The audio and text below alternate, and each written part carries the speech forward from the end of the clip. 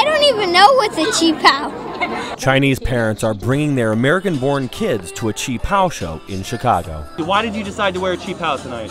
Because my mom forced me to. Parents say it's important for their kids to get a taste of Chinese culture. So we have so many mixed couples, so it's very important for me to pass all these, uh, you know, uh, traditional to my children.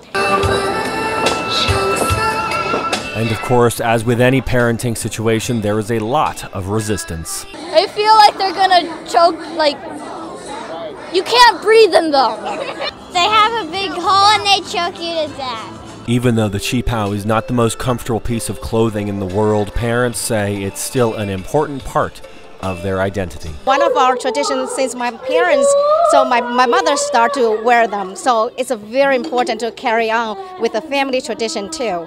So it's so important, and then I think every woman wear qipao. They look so beautiful. They're the most beautiful women. I think it's a good uh, role model, my wife, for the children, for her family heritage. So we asked American born Chinese what it would take for them to be in tonight's qipao show. If I could come in in a freaking helicopter and crash through the window, then I would be would, would gladly be in one. a million tons of candy.